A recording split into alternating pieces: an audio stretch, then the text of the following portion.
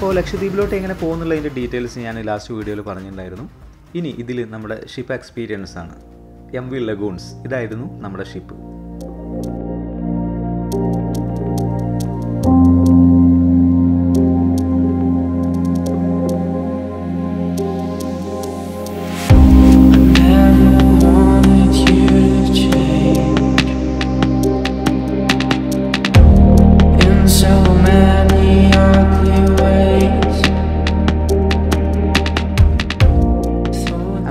കൊച്ചിയിലെ ലക്ഷദ്വീപ് വാർത്തിൽ നിന്ന് ഒരു ബസ്സിൽ കയറിയിട്ട് നമ്മുടെ ഷിപ്പിന്റെ അടുത്ത് എത്തി കുറച്ച് ദൂരമേ ഉള്ളൂ. ട്രക്കിൽ കൊടുക്കുന്ന ലഗേജ് നമ്മൾ തന്നെ എടുത്തിട്ട് ഷിപ്പിൽ കയറ്റണം. നമ്മുടെ ലഗേജസ് ഒക്കെ വെക്കാനുള്ള ഒരു സ്പേസ് ആണ്. അപ്പോൾ നമുക്ക് കിട്ടിയിട്ടുള്ളത് ബങ്ക് ക്ലാസ് ആയിരുന്നു. ബാക്കിയൊക്കെ ഫില്ലായിരുന്നു ബങ്ക് ക്ലാസ് എന്ന് പറഞ്ഞാൽ നമ്മുടെ ഒരു ഡോർമെറ്ററി സിസ്റ്റം സംഭവം ഓക്കെയാണ് ഒരാൾക്ക് ഈസി ആയിട്ട് കിടക്കാൻ പറ്റും. നമ്മുടെ ലഗേജസ് ഒക്കെ ഉണ്ടെങ്കിൽ താഴെ സൂക്ഷിക്കാം. പിന്നെ നമ്മുടെ സൈഡിലൊക്കെ സ്ഥലങ്ങളും കാര്യങ്ങളൊക്കെ ഉണ്ട്. നമ്മുടെ സീറ്റ് നമ്പേഴ്സും കാര്യങ്ങളൊക്കെ ഉണ്ടാവും. ഇതിലൊരു പില്ല അവർ പ്രൊവൈഡ് ചെയ്യുന്നുണ്ട്. വേറെ ഒന്നുമില്ല. ഓണാവില്ലേ ഓണാവില്ല കുറച്ച് ടൈം എടുക്കുന്നുണ്ട്. പക്ഷെ ഓണാവുന്നുണ്ട് ഉറങ്ങുന്ന ടൈമിൽ ഇതാ ഒരു കേട്ടൺ ക്ലോസ് ചെയ്യാം. നന്നായിട്ട് ഉറങ്ങാൻ പറ്റും. ഈ ബംഗ്ലാസ് എന്ന് പറഞ്ഞാൽ ഷിപ്പിന്റെ ഏകദേശം താഴ്ഭാഗത്തായിട്ടൊക്കെ വരുന്നത്. കണ്ടോ? ഇതിൽ സെക്കൻഡ് ക്ലാസ് എന്ന് പറയുകയാണെങ്കിൽ ഒരു ക്യാബിൻ നാല് പേർക്ക് കിടക്കാൻ പറ്റുന്ന ഒരു ക്യാബിനാവും പിന്നെ ഫസ്റ്റ് ക്ലാസ് ആണെങ്കിൽ കപ്പിളിനൊക്കെ പറ്റുന്ന രീതിയിലുണ്ട് പിന്നെ ഈ ഒരു ഷിപ്പിന്റെ ഉൾവശം എല്ലാം തന്നെ എയർ കണ്ടീഷൻഡ് ആണ്. അതുകൊണ്ട് പിന്നെ ചൂടിന്റെ ഒരു പ്രശ്നം വരുന്നില്ല. അങ്ങനെ സീറ്റൊക്കെ സെറ്റാക്കിയിട്ട് മെയിൻ ഡെക്കിലെത്തി ഇവിടെയാണല്ലോ കാഴ്ചകളൊക്കെ ഉള്ളത്. അപ്പോൾ ഈ ഒരു ഷിപ്പ് എന്ന് പറഞ്ഞത് എം വി ലഗൂൺസ് ഇത് നാനൂറ് ആളാണ് ഇതിന്റെ കപ്പാസിറ്റി ഒരു നയന്റി എയ്റ്റ് മീറ്ററാണ് ഇതിന്റെ ലെങ്ത്ത് വരുന്നത്. വേറെ എം വി കവരത്തി എന്ന് പറഞ്ഞ ഷിപ്പൊക്കെ അതിന്റെ കപ്പാസിറ്റി ഒരു എഴുന്നൂറൊക്കെ വരുന്നുണ്ട്. ഈ ഒരു ഷിപ്പ് പെട്ടെന്ന് ഷെഡ്യൂൾ ചെയ്ത് നമുക്ക് മനസ്സിലാവും കേട്ടോ. പൊട്ടി പിടിക്കുന്നുണ്ട് പെയിന്റ് ചെയ്തിട്ടുണ്ട്. പെയിന്റ് അടിച്ചതല്ലേ? പെയിന്റ് അടിച്ചിട്ടുണ്ട് ഈ ഒരു ഷിപ്പിന്റെ ഫിറ്റ്നസ് സർവേ നേരത്തെ കഴിഞ്ഞത് കാരണം ഒരു ദിവസം ബാക്കിലോട്ട് പ്രീ ഷെഡ്യൂൾഡ് ആയിരുന്നു. സോ തിരക്ക് വളരെ കുറവായിരുന്നു. ദാ ഷിപ്പിന്റെ എൻജിനൊക്കെ സ്റ്റാർട്ടായിട്ടുണ്ട് ഷിപ്പ് പോകാനുള്ള എല്ലാ സെറ്റപ്പും ആളുകളൊക്കെ അവരുടേതായ ജോബിൽ ബിസിയാണ്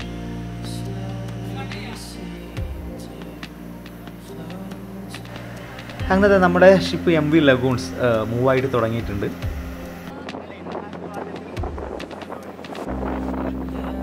ഈ ഒരു ഷിപ്പിലുള്ള ജേണി എന്നുള്ളത് ഫസ്റ്റ് ടൈമാണ് എന്റെ ലൈഫിൽ അതുകൊണ്ട് തന്നെ ഞാൻ വളരെ എക്സൈറ്റഡ് ആയിരുന്നു. വളരെ കൗതുകത്തോട് കൂടിയിട്ടായിരുന്നു ഓരോന്നും നോക്കി കാണുന്നുണ്ടായിരുന്നു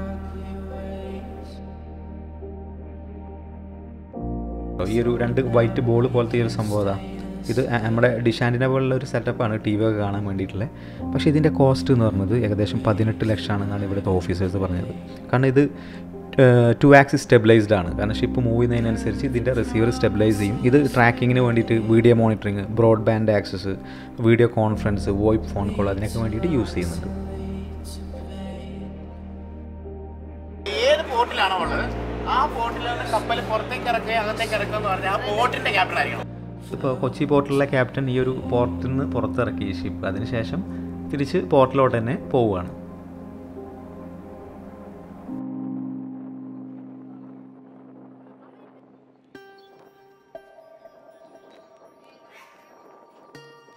ഇവർക്ക് ഈ തിളക്കം കണ്ടാ അറിയാം. ഏത് മീനാന്ന് അറിയാം. അറിയാം നമ്മളന്ന് പോയപ്പോ അവർ കൃത്യമായിട്ട് പറഞ്ഞു ഇന്ന അതാ മീനാ ഇതിൽ വലട്ടുണ്ടല്ലോ രണ്ട് കയറത് അല്ലേ അതെ അതെ അതെ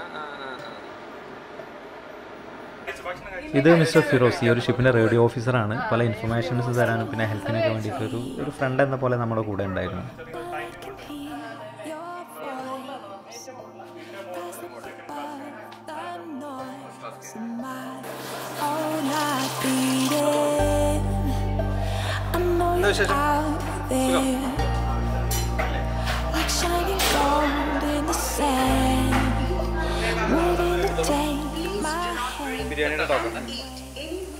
ഫുഡ് കഴിക്കാനുള്ള ടൈമൊക്കെ ഷിപ്പിൽ ഇങ്ങനെ അനൗൺസ് ചെയ്യുന്നുണ്ടായിരുന്നു. ഫുഡൊന്നും കുഴപ്പമില്ല കേട്ടോ നല്ല ക്വാളിറ്റി ഉണ്ട്. പിന്നെ അതുപോലെ റേറ്റ് ഒന്നും വരുന്നില്ല. ഒരു നൂറിൽ താഴേക്കുള്ള നമ്മൾ ലഞ്ചിനാണെങ്കിലും ബ്രേക്ക്ഫാസ്റ്റിനൊക്കെ വരുന്നത്.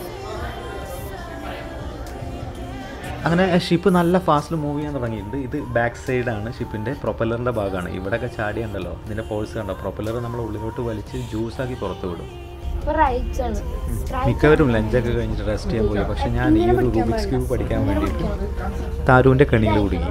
ഞാൻ ദ വേഴ്സ്റ്റ് സ്റ്റുഡന്റ് ആണെന്നാണ് താരു പറഞ്ഞത്. ഇടയ്ക്കിടയ്ക്ക് ഇമ്പോഷൻ വരെ എഴുതേണ്ടി വന്നു. മൂവിങ്ങിൽ ഷിപ്പിന്റെ ഡയറക്ഷൻ ഇടക്കിടക്ക് മാറും. അപ്പോൾ നമുക്ക് കിബില കണക്കാക്കാൻ വേണ്ടിയിട്ട് നിസ്കരിക്കാനൊക്കെ ഈ ഒരു കോമ്പസ് വളരെ ഹെൽപ്ഫുള്ളാണ് നമ്മൾ ഏതാണോ സ്ഥലം അവിടുത്തെ ഡിഗ്രീസ് വെച്ചിട്ട് നമുക്ക് ഈസിയായിട്ട് ഫൈൻഡ് ചെയ്യാം. ചുറ്റിലും വെള്ളം മാത്രമേ ഉള്ളൂ. അപ്പോൾ ഇവിടുത്തെ സൺസെറ്റ് എന്ന് പറഞ്ഞാൽ വളരെ സ്പെഷ്യലാണെന്ന് എനിക്കറിയാം. അതുകൊണ്ട് ഞാനത് വെയിറ്റിംഗ് ആയിരുന്നു. അപ്പോൾ നിങ്ങൾ ആരെങ്കിലും ഈ ഒരു ഷിപ്പിലൊക്കെ യാത്ര ചെയ്യുമ്പോൾ ഇതുപോലത്തെ ചാൻസ് കിട്ടുകയാണെങ്കിൽ കിടന്നുറങ്ങാതെ വേഗം ഡെക്കിൽ കയറി വരിക. സൺസെറ്റ് അല്ലെങ്കിൽ സൺറൈസിന് വേണ്ടിയിട്ട് വെയിറ്റ് ചെയ്യുക. കിഡിലെ ഫീൽ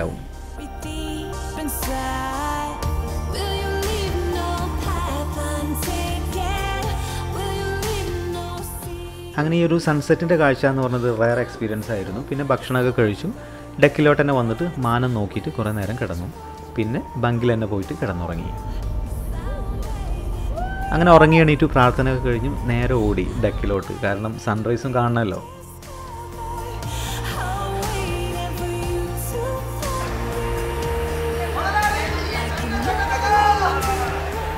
അങ്ങനെ സൺറൈസ് ഒക്കെ കണ്ട് കുറേ ഫോട്ടോസ് വീഡിയോസ് ഒക്കെ എടുക്കുന്നതിനിടയിൽ ഞാൻ ഒരു കാര്യം ശ്രദ്ധിച്ചത്. നമ്മൾ പിന്നെ ഒരു ഐലൻഡ് എത്തിയിട്ടുണ്ട്. അഗത്തി ഐലൻഡിൽ എത്തിയിട്ടുണ്ട് ഓൾറെഡി അപ്പോൾ അതിന്റെ കാഴ്ചകൾ കണ്ടു. അപ്പോൾ ബാക്ക് സൈഡിൽ നമ്മുടെ ഐലൻഡ് കാണുന്നുണ്ട്. എന്താ കുറേ പക്ഷികളൊക്കെ ആ ഒരു മോർണിംഗ് വൈബിൽ പറന്ന് കളിക്കുന്നു. നമുക്ക് കവരത്തി ഐലൻഡിലാണ് പോകാനുള്ളത്. പക്ഷേ ഇവിടെ അഗത്തി ഐലൻഡിൽ ഓൾട്ട് ചെയ്തിട്ടുണ്ട്. ഇവിടെ ഓൾറെഡി കുറേ ആളുകൾ ഈ ഐലൻഡിൽ ഇറങ്ങിയിട്ടുണ്ട്. ഇവിടുന്ന് ആളുകൾ തിരിച്ചു കയറുന്നുണ്ട്. പിന്നെ ഉണ്ടോ ചരക്കുകളൊക്കെ കൊച്ചി എന്ന് പറഞ്ഞ സാധനങ്ങളാണ് ഈ ഇറക്കുന്നതൊക്കെ. ഈ ഒരു സംഭവം എനിക്ക് ഫസ്റ്റ് അനുഭവമായിരുന്നു കേട്ടോ. ഈ ഒരു നമ്മുടെ വെഹിക്കിൾസൊക്കെ കാരണം ഇവിടേക്ക് വേറെ ആക്സസ് ഒന്നുമില്ലല്ലോ. ഒരു ഷിപ്പ് ത്രൂ വേണം ഏത് വെഹിക്കിൾസ് വേണമെങ്കിലും കൊണ്ടുവരാനും കൊണ്ടുപോകാനും അവിടെ ലോങ്ങിൽ അകത്തിലെ ലൈറ്റ് ഹൗസ് കാണുന്നുണ്ട്. അതിനിടയിലാണ് ഒരു ഒരാൾ എന്നെ വിളിച്ചോണ്ട് പോയത്. എന്റെ കയ്യിൽ ക്യാമറ കണ്ടിട്ടാണ്. നല്ല കിടിലൊരു ഫിഷിനെ കിട്ടിയിരുന്നതാണ് ഇവർ ചൂണ്ടലിടുകയാണ്. അപ്പോൾ നല്ല നല്ല വെയിറ്റുള്ള ഒരു ഫിഷാണ് ചെറിയ ചൂണ്ടല്ല കുടുങ്ങിയിട്ടുള്ളത് കണ്ടോ? അവരതിനെ എടുക്കാൻ വേണ്ടിയിട്ട് കാരണം അതിനെ പൊക്കിയെടുത്താൽ എന്തായാലും അത് പൊട്ടുമെന്നറിയാം. അപ്പോൾ എങ്ങനെയെങ്കിലും അതിനെ എടുക്കാൻ വേണ്ടിയിട്ട് ഈ ഷിപ്പിൽ തന്നെ വർക്ക് ചെയ്യുന്ന ആളുകളാണ്.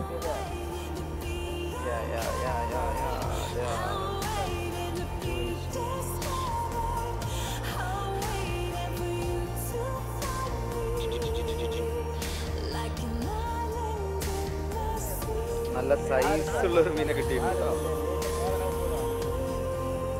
ചെറിയ ചൂണ്ടെല്ലാം ആയതുകൊണ്ട്. ആ കിട്ടി കിട്ടി കിട്ടി. ഇത് ചെയ്തില്ലെങ്കിൽ എന്തായാലും അത് പൊട്ടിപ്പോകും. അങ്ങനെ ഷിപ്പിൽ ഇരുന്നിട്ട് തന്നെ കുറേ കാഴ്ചകൾ കണ്ടു. ഈ ഒരു അഗത്തി ഐലാൻഡിൽ തിരിച്ചുള്ള യാത്രയിൽ ഇറങ്ങാമെന്ന് കരുതി. പിന്നെ ഒരു മൂന്ന് മണിക്കൂറിന് ശേഷം നമ്മൾ കവരത്തി എത്തി ഇപ്പോൾ ടൈം രണ്ട് അഞ്ചായിട്ടുണ്ട്.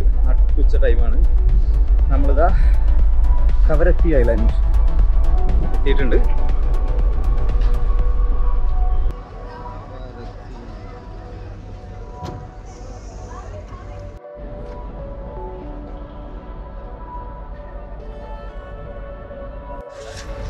നമ്മളെ സ്വന്തം സാബിത് ഭായ്. ഹലോ ഒരു ഹായ് പറഞ്ഞു?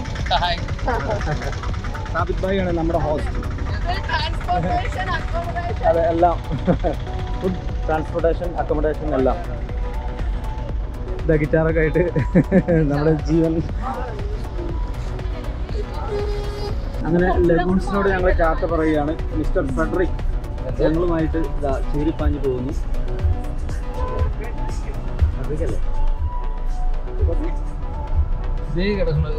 നമ്മുടെ ഷിപ്പ്.